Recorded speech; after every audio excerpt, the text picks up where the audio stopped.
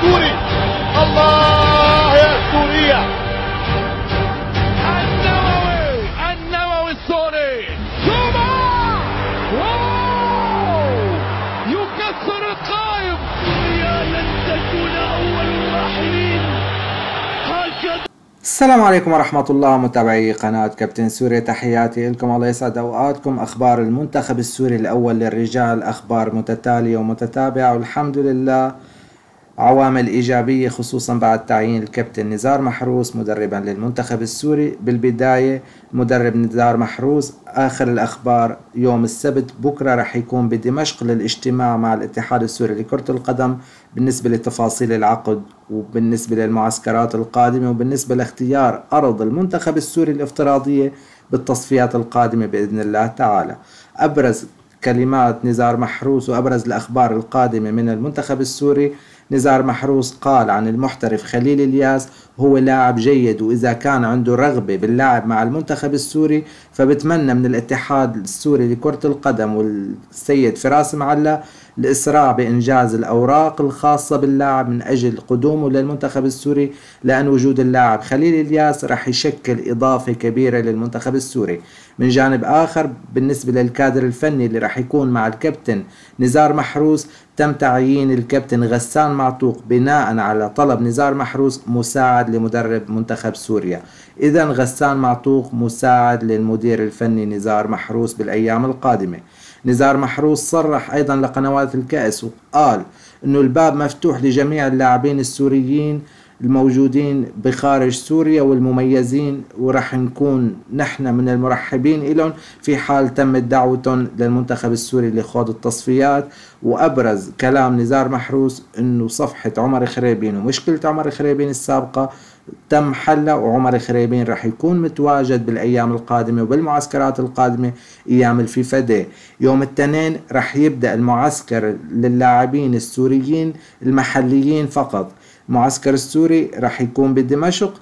نزار محروس رح يرسل دعوات للاعبين المتواجدين في سوريا فقط. الخارج سوريا مثل عمر السومة ورد السلامة. محمد مرمور ما رح يكونوا متواجدين مع المنتخب لأن هي الأيام معنا أيام الفيفا دي وآخر كلمات نزار محروس قال لم يكن لدي شروط تعجيزية بالمرات السابقة التي عرض علي تدريب المنتخب السوري ولكن خلال مراحل التفاوض لم تتم الأمور لأسباب معروفة وأسباب غير معروفة. طبعا قصده بالأسباب المعروفة هو التدخل المباشر بعمله كمدير فني للمنتخب السوري وفرض اللاعبين عليه من داخل الاتحاد السوري لكرة القدم بالإضافة لأمور مالية أمور معسكرات أمور تجهيزات إلى آخره. وقال لا يقبل أي مدير فني التدخل في قراراته وأي فرض لقرار أو خيار أو شخص مرفوض بشكل كامل ومن المنطقي أن أتقبل أي رأي أو استشارة فقط. وقال سنعمل بما نملكه بين أيدينا فالوقت ضيق وسيتم البحث بكل الخيارات والاستفادة من اللاعبين المحليين وحتى المحترفين المتوفرين وسنبدأ العمل مباشرة الأسبوع القادم. وقال نزار محروس أنا ما تبعت الدوري السوري مية بالمية ولم يكن بالإمكان مشاهدة جميع مباريات الأسبوع في نفس الوقت لكني تابعت جميع الأندية وأعرف معظم اللاعبين.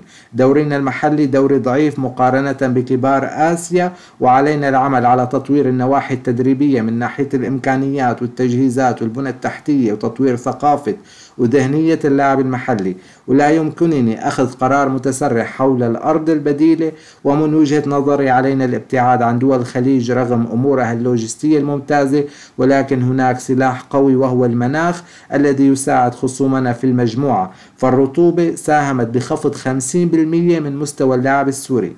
باب المنتخب مفتوح لجميع اللاعبين المتميزين وقد أضطر للبحث عن جزئيات صغيرة لاستبعاد بعض اللاعبين على حساب لاعب آخر في نفس المركز. إذا ثبتنا على تشكيل دون غيابات سنضمن أن لا نهاب أحد. لم يتم الحديث بتفاصيل العقد بعد وسيتم البحث فيها يوم السبت القادم ونتمنى الوصول لعقلية متطورة دون النظر للنتائج السريعة المعلبة بعيدا عن التخطيط والاستراتيجية من أجل مصلحة المنتخب. أيضا نزار محروس أرسل رسالة لمحترفنا السوري محمد عثمان بضرورة الإسراع بإيجاد نادي للتعاقد معه من أجل الحفاظ على لياقته البدنية وعلى مستواه ومن أجل دعوته للمنتخب السوري لا يعقل أن يكون لاعب محترف من دون نادي حتى الآن. هي كل الأخبار؟ إذا الكابتن نزار محروس ما بيرحب بأي دولة من دول الخليج تكون أرض بديلة للمنتخب السوري. ممكن يختار الأردن ممكن يختار لبنان ممكن ينفرض عليه دولة السعودية أو دولة قطر باعتبار ممنوع نلعب بالإمارات لأن موجودة بمجموعتنا. أنا بتمنى كرأي شخصي نلعب بالأردن أو نلعب بلبنان بسبب المناخ. صح عنا جالية سورية كبيرة كتير بقطر أو بالإمارات أو بالسعودية. لما يلعب المنتخب السوري رح يكون الملعب ممتلئ لكن أمور المناخ عم تضعف كثير من مستوى اللاعب السوري خلال المباريات وشفنا هذا الشيء بالمباريات الأخيرة أمام منتخبات ومتابعي قناة كابتن سوريا. تحياتي لكم الله يسعد أوقاتكم يا رب وإن شاء الله جمعة مباركة علينا وعليكم بتكون جمعة خير على سوريا والسوريين بإذن الله تعالى. تم قبل قليل الانتهاء من سحب قرعة تصفيات كأس آسيا تحت 23 عام للمنتخبات الأولمبية اللي راح تكون العام القادم أوزبكستان 2022 تصفيات راح تكون هذا العام بإذن الله تعالى بمشارك منت... بمشاركة منتخبنا السوري. قبل ما أفوت بالتفاصيل بتمنى منكم تدعمونا بالضغط على زر like والاشتراك بالقناة. اشتركوا له والله العظيم الاشتراك ببلاش. وعلقونا بالتعليقات شو تعليقاتكم وشو هي آمالكم المبنية على المنتخب السوري. وعلى المجموعة. منتخبنا السوري وقع بالمجموعة الأولى إلى جانب منتخبات قطر واليمن وسريلانكا. البطولة رح تكون على نظام التجمع. جميع مباريات مجموعة منتخبنا السوري رح تكون بدولة قطر. بيتأهل بطل كل مجموعة بالإضافة إلى أفضل خمس ثواني من المنتخبات اللي بتحتل المركز الثاني ب 11 مجموعة. لذلك المنافسة رح تكون شرسة بين المنتخبات منتخبات اليمن وسريلانكا ما عندنا أي معلومات عنها لكن دائما المنتخبات بالفئات السنية بيكون مستواهم غير المنتخب الأول. لذلك يجب علينا الحذر إن شاء الله ممكن نتأهل كبطل للمجموعة. منتخب قطر غني عن التعريف عنده أكاديمية أسباير وعنده لاعبين ومدربين ومنشآت رياضية على مستوى عالمي.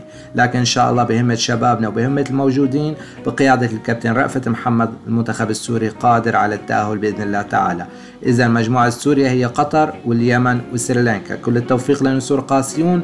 وهي البطولة هي مفتاح التأهل لكأس آسيا وكأس العالم والأولمبياد اللي بعد طوكيو بإذن الله. تحياتي لكم. اشتركوا بالقناة دعموني بالضغط على زر لايك والسلام عليكم ورحمة الله. السلام عليكم.